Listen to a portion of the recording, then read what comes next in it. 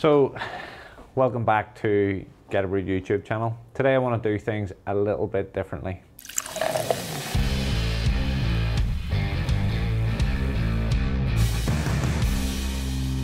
So Dillon, who's behind the camera, um, hasn't been getting the buy-in from the folks at home about um, his beers. Let's just say he's been making some questionable beers. We all learn from experiences and we all have to go through that process before we get there. Um, some of my team have made beers for the first time gave them to me to try recently and I thought, wow, if my first beer tasted that good, I'd be incredibly impressed. But um, going back to basics, there's nowhere to hide behind when you brew a lager or German Pilsen style beer. And um, to try and get Dillon's folks and his wife and friends, he wants to get them to buy into it. So we're going to create a recipe today that he can take home and make and hopefully impress friends and family. We're going to take a walk around the warehouse, get the recipe put together, hand over the ingredients to Dillon, who's on the other side of the camera, and then he's going to take it home, brew it, let you see the brew day, and let the liquid do the talking, all being well. So let's go. Dillon is wanting to take, get a recipe that he can get his friends and family to buy into. I've suggested a lager, Pilsner style beer. My thought was one of the crisp Pilsner recipes maybe with a few tweaks depending on what you think. So the recipe in this particular one is 3.98 kgs of German Pilsen, 120 grams of Vienna malt. So that's really high in percentages. It's probably like 97% Pilsen, 3% Vienna. Perfect lager yeast for this, a diamond lager yeast. And then we're gonna go for a mixture of hops, Magnum, Hersbrucker and Tettnang. Tettnang we're gonna add when we chill the, chill the wort down at 80 degrees. The reason the wort's being chilled down before you add the Tettnang is to allow those noble hops to really shine through at that temperature. Noble hops is um, probably a terminology used for traditional hops for this style. So it's a traditional noble European hop. Again, the yeast, lots of options. Um, we've got Wyeast, um, and liquid yeast smack packs. We've got White Labs options there in liquid yeast. Also, there's Fermentis. We just prefer Lallemand and uh, it's a really premium pack this. So what the guys do in the warehouse here whenever they're creating a recipe is obviously they, they can work off the folder or they can go to the computer, print off the recipe kit. So the recipe kit has the ingredients listed out here. So what Chris has done is he's picked up the yeast out of the fridge, Protafloc tablet, That'll all be packaged into its own individual packaging and now he's just writing up on the little resealable hot packs there that um, the grammage, the variety, that it's a hop tea bag and when it's to be added. And then that means that you can simply refer to the hop packets when they add them in comparison to the sheet. And then they'll be vacuum packed and sealed So we come out of the hop fridge into the malt area. You can hear that that's actually my dad on the fork truck. He loves to do this when we're videoing. As soon as the camera switched on, he's something to move.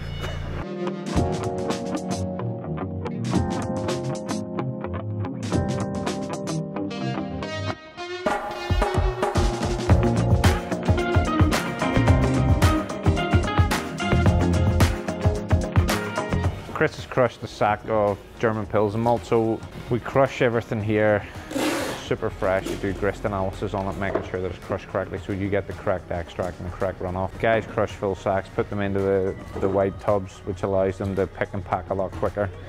Given the volume of stuff that we move here, um, this works really effectively for us. So. so, there we go.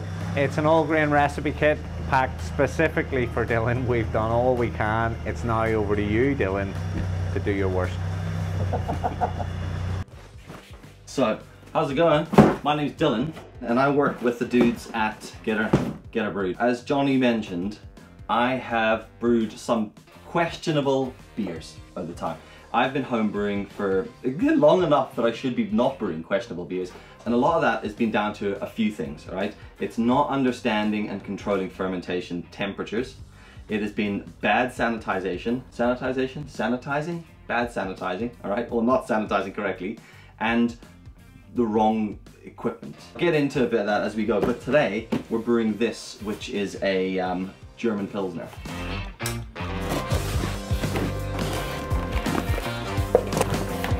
Instructions, hops and yeast, a few stickers, and malt. So, a German Pilsen malt, I've been given the, instru the instructions which you should absolutely follow to a T. Don't change things because you think you should.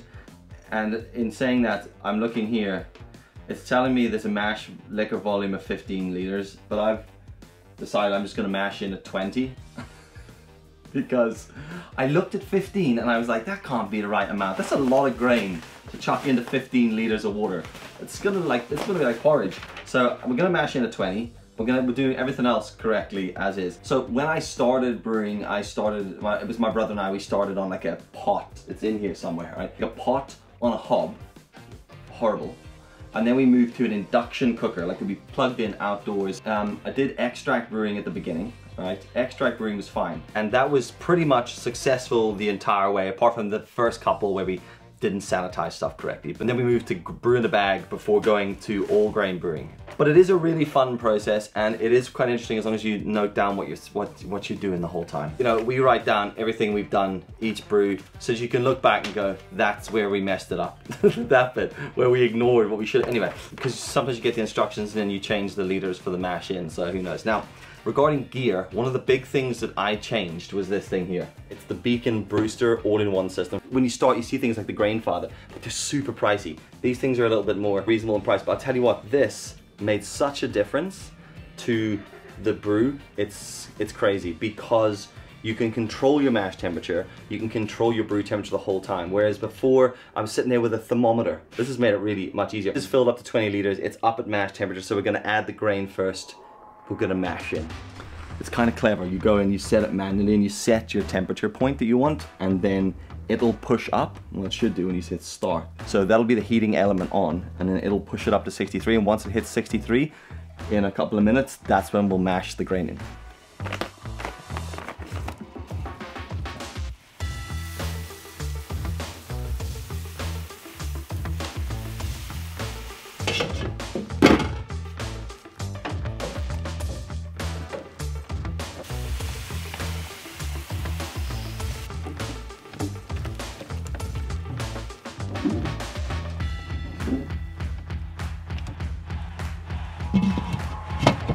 First time I've been able to use this new mash paddle. We're filming in the breweries all the time and the guys are always like mashing it with the cool wooden paddles. And then Johnny was like, do you know we sell those? And I was like, no I did not, but now I need one. So it's my mini paddle.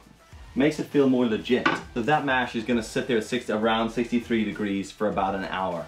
At this point, you can kick back, do something else, keep an eye on it, make sure it doesn't who, who knows what it's going to do, right? If you're new to this sort of stuff, the, the next thing to remember is sanitizing, right? Keeping everything clean. So what I do is, like what most people do, spray bottle with sanitizing fluid. I use ChemiPro. Um, it's pretty easy. If, you, if you've never used this bottle before, just so you know this, because I, it took me ages to work out, there's a little funnel here and you need to fill it up and there's measurements on the side. Squeeze it, fills up if you know that, you're laughing at me, but if, you, if you've ever tried to do that and you wondered what the Bojangles was going on, that's how that bottle worked. That's the spray bottle. Um, the other thing you need is like another bucket. This is like a, a, cheap bucket when we started using it. I just use it literally for sanitizing fluid, right? And everything's in here from like trial jars to hydrometers to scissors bungs and, and bits and pieces and I always keep you know a cloth in here as well. Once we've gone through the hot element of this, it's just about sanitization, sanitizing. Ah, what is that word? Keeping everything clean, right? In the bag from Get a Brewed, we got three hops, we got yeast, and we got a Protafloc tablet, I think, is that right? All right, so this is quite, this is the first time I've brewed uh, a Pilsner. We're using uh, what are we using here? Magnum, Hersbrucker, and Tettnanger, which I'm excited about. Just purely because I've been to Tettnanger and actually had beer from a clay jug from one of the bars a long time ago. Irrelevant to this. And then lager yeast. This seems like a good time to actually drink a beer as well. Why not, you know? We're brewing a lager, we're drinking a lager. A beer from Mescan Brewing. They're in Westport in Ireland. All Belgian style beers. Let's crack that open.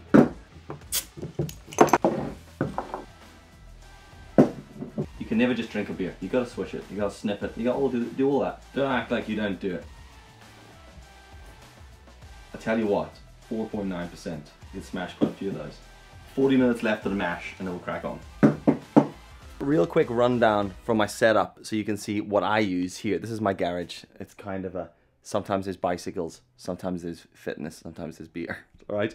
So Beacon Brewster, I think it's a Beacon Brewster 40 for mashing in and for boiling. I used to mash into those like Gatorade coolers. It didn't really work that well. Bottles are all in these boxes behind me. Um, and then I have two, well, three fermentation vessels. I've got one of the basic white buckets that's down there. I've got a FermZilla, which is great. It's a flat bottom. It is very good though. Big access point at the top, nice big screw lids. I would use that and the white bucket for brewing wine as well. And they work amazingly for that. And then I've just got this, which is FermZilla. pressurized fermenter. I use the fermenters in this thing here, the Ferminator. This is a game changer because I could never ever keep um, my temperature correct or consistent in the first well ever. So the first few days i always like i lost loads of stuff because that. But this thing has got like a motor in the back that you program. You pop it open. The vessel the fermentation vessel goes in this is an extender piece. They, they're normally smaller.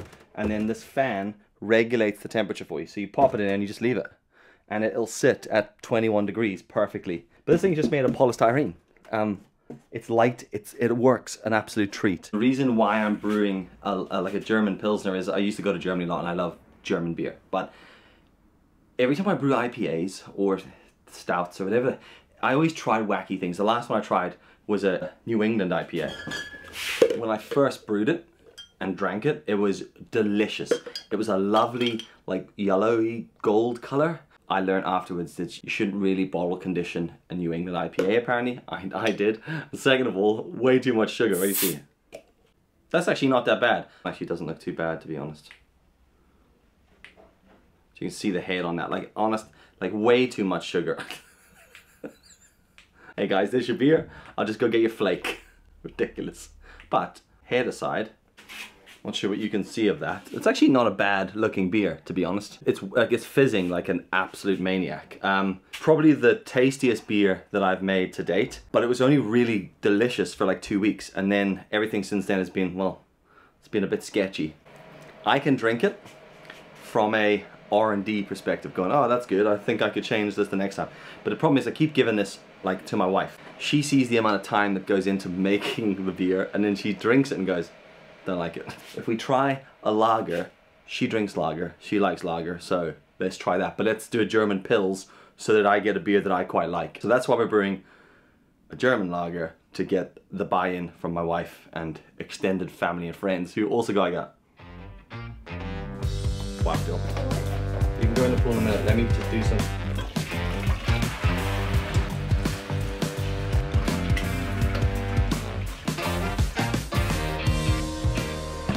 basically that's that's how easy it is to remove the the grain from there. This is just wort, and then that all goes in the green bin. Um, so there's all your spent grains.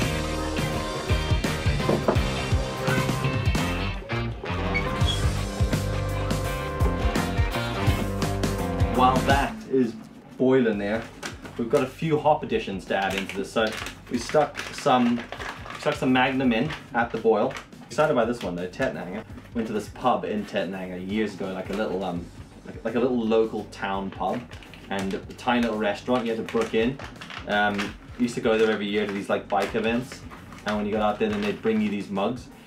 Oh my goodness, like mugs of beer, weiss beer and Pils and stuff like that. But it was all brewed in the in the region of Tettnanger. Tettnanger, Tettnang, Tettnanger. Like very powerful beer.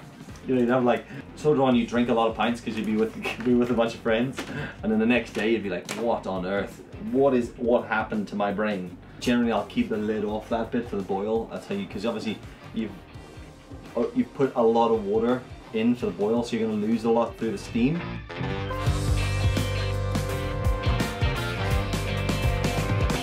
So, if you're like just before the boil ends, we're going to drop the uh, chiller in. And then when at flame out, we're gonna add the last bag of hops. Hersbrucker going in. It's like five grams of that.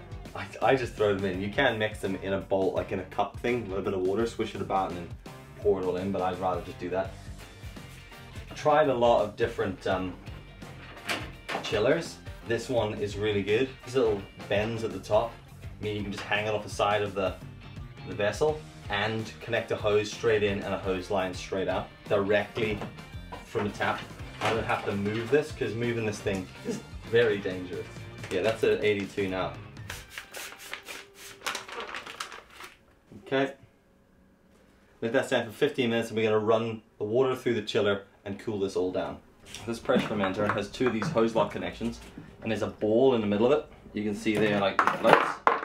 So the benefits to using one of these systems, you ferment in the container and it pressurizes it so that when it's finished fermenting in like a in like a week, you can go straight to bottle and cap. You don't have to add priming sugar because that's what you're doing under pressure. So that's what I'm gonna do.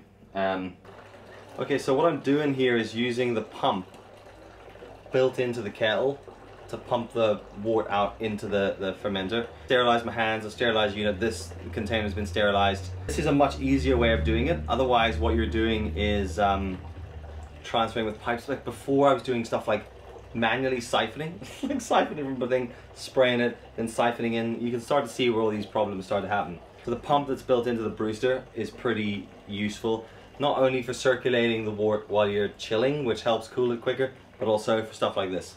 We're going to pitch Lallemand lager yeast. Need this to be under 15 degrees. They say like maximum 15 degrees. We'll do that and then that's it. It's not going to be dry hopped. It's a lager. Should be simple enough. Simple sprinkle.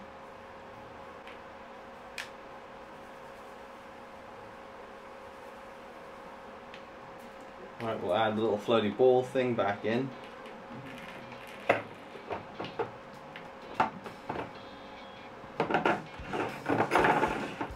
Now at this point, some people would shake this up. I'm not going to do that. I'm just going to leave it. I'm going to add a little pressure gauge onto this side here. This is the beer outlet. So this is your pressure gauge. This is going to read how much pressure is being built up in it. It says you need to keep it at around 15 psi. It's a lager, so to leave that to build up pressure. Um, come back, keep an eye on that, and just check it, and that should be that should be great. So we'll leave that for five days, and then we'll. Oh, I'm going to transfer this first. That's why I have to move it from here to this. Yeah. Okay, so to be honest, but look, we're here. We are where we are. That's going to ferment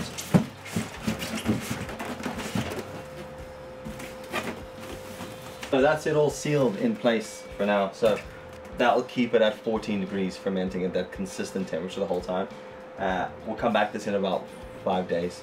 I'll keep an eye on the pressure, let that build up to 15 psi. If you go too high, the whole thing's gonna explode. So you're gonna be, that could happen. In which case, I'll see you when that happens. I just need to do a gravity reading. OG should be what? Come on. Um, original gravity of that is actually a bit higher. So effectively, I had a more efficient mash than was expected. So there's a lot of there's a lot of sugar come out of that. Original gravity 105. That's quite an efficient mash, which is probably the first time that's ever happened. So lager update. So slight mess up on my side. Right. So I transferred into the pressured fermenter, and it was it was all great except I didn't check something and uh, one of these little things just wasn't tightened correctly and it was my fault let the pressure out. So what I had to do was resort to just a regular fermentation. So, so I didn't get to test the pressure fermentation this time. I will do it again. What I like to do is do silly stuff to make the whole process more difficult. I was like, ah, oh, the pressure must be in that. Maybe I'm having a problem with the pressure gauge or something. So I cracked on, I was just gonna sort of play it by ear. Primary fermentation was about 10, 10 days. Transferred it from primary into secondary. Um, so I could dump the trub out of the bottom of that thing. Crash cooled it. but then realized that I crash cooled it and that's basically stopped the yeast from doing its thing. Um, I added this here, this is CBC1 from Lallemand. It's a cask and bottle conditioning yeast. So I made a yeast starter kit, a little bit of that and some brewing sugar, transferred it into the secondary and left it for a bit to settle. Then I transferred everything into bottles. So instead of teaspoons into each bottle. I just did it all in there with the yeast starter. Let's hope that works. Assuming that I've done the sugars correctly, we should have a delicious lager in a, in a few weeks. So that'll need to just store now and condition in the bottles for about two to three weeks. Um, does take a long time. The whole point of doing the pressure fermentation was that we could do the lager in seven to 10 days instead of the three months that it takes to make a lager. Meanwhile, doing a uh, IPA today. Doing a West Coast IPA, Simcoe, Columbus.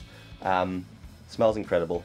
Just about to cool it, wash that fermenter out, and then start a new beer. I'll get that done, and I'll catch you after the fade for a test of the beer. Okay, so so far so good. You know, famous famous last words and that. We're a week into the bottle conditioning, so I thought we could try one now. Ain't nobody got time to wait for three weeks for this video to finish. So let's pour this.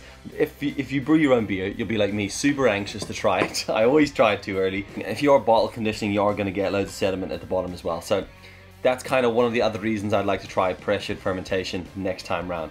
But hey, let's give it a shot one weekend, see how it's turned out. Sounds good. Fizz, which there should be. Color looks good. Here, that looks legitimate. Still needs time to carbonate a little bit more.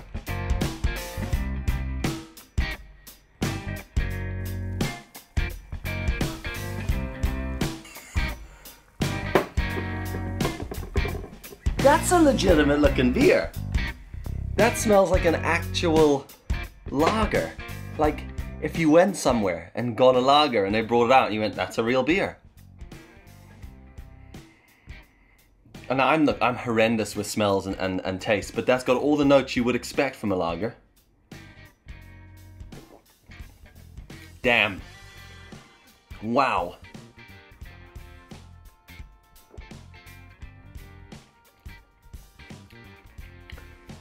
That I'm super impressed with that. Lacking a little bit of mouthfeel. Like it's almost it's a I'd say it's a little bit on the flat side, but like only the smallest bit.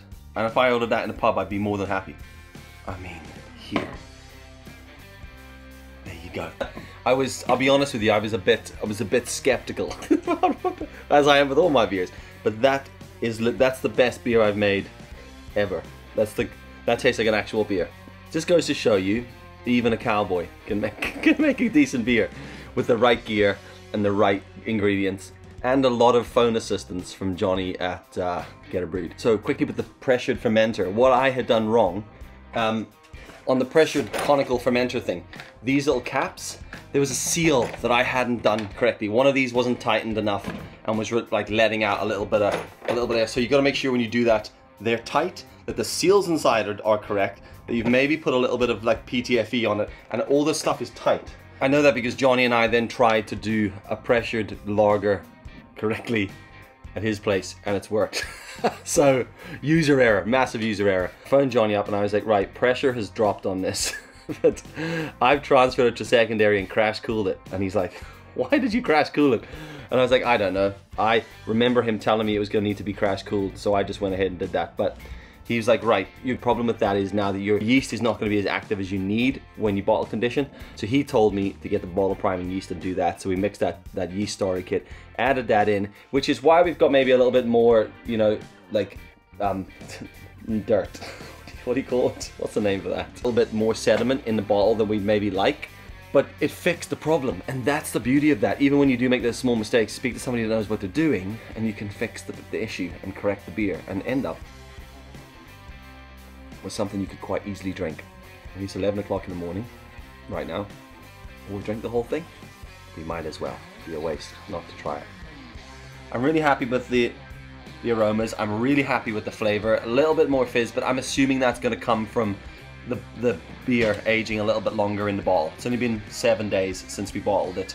So maybe in two weeks time it'll have a bit more fizz. If not, I know where I've gone wrong. And that's the bit that if I've learned anything apart from sanitize and control your fermentation temperatures, if I've learned anything else in the last few years, it's write all the stuff down that you did so that you know the mistakes you made. So I can at least look back at that and go, Dillon, this is where you went wrong. This is what you need to fix the next time round so you don't make the same mistake. So look, that's been great. I'm really happy with that. If you want to brew a lager at home the traditional way, you're gonna have to be able, you're gonna need something like this to, to control that fermentation temperature, and it's gonna take like three months to do it. If you want to try brewing beer under pressure, we do have a like there is a video coming out all about that in the next week or two, um, where Johnny gets it right. so you can watch that. Watch that if you want to learn about brewing under pressure. It is possible as a home brewer to brew a lager that tastes pretty damn good. Any questions? Don't ask me. Ask the guys at Get a Brewed. I've learned so much from working with Johnny and the team at Get a Brewed over the last year. Be honest with you, investment into gear has made a huge, huge change in what I've been doing. And I reckon I can get the missus to like, she'll like that. she will like that. You know, and if she's gonna be happy with that beer, she's gonna be more enthusiastic about me brewing it. My parents are not gonna turn their nose up when I arrive around at their house with homebrew. Um, and generally my mates will be able to actually appreciate what we're making here. So thanks for watching this. It's been a long video. Hopefully you've learned something or you've found it remotely interesting. If you want to see more from the guys at Get It Brewed, follow the, the channels below. Subscribe to the YouTube channel if you aren't already. Hit the bell, notifications, it'll let you know when they upload new videos. So yeah, I'm super happy with um, how that's turned out. Uh, until next time, happy brewing. Cheers. God, let her taste that.